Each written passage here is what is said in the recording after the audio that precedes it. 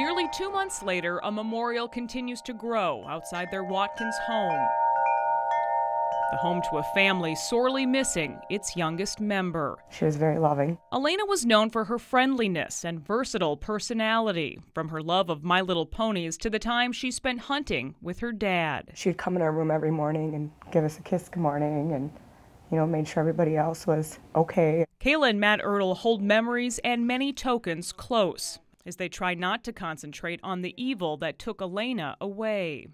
She's an innocent little girl that did nothing wrong.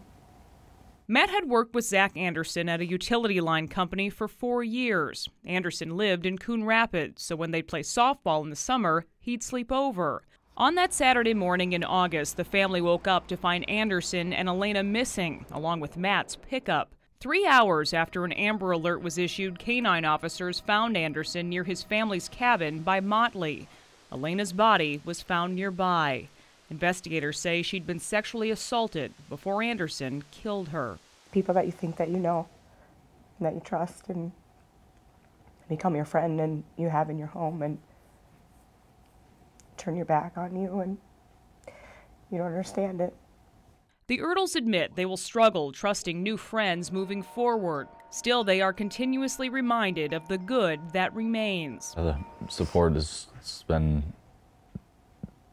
overwhelming. Yeah. Gifts and cards from so many touched by Alayna's life. This one, too, was a journal or a day by day. Even strangers from states away pledging to be more patient parents and not taking the time they have with their own kids for granted. He'll make comments of certain shows or different things he did that made her laugh. The Ertls are pushing on for their son, Carter, and for their small community that created a public space to heal. Look outside and there'd be four or five kids just sitting around, the, sitting there reading books, and it's cool to see.